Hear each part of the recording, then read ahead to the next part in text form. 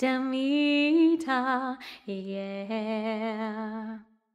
One happy birthday dot com.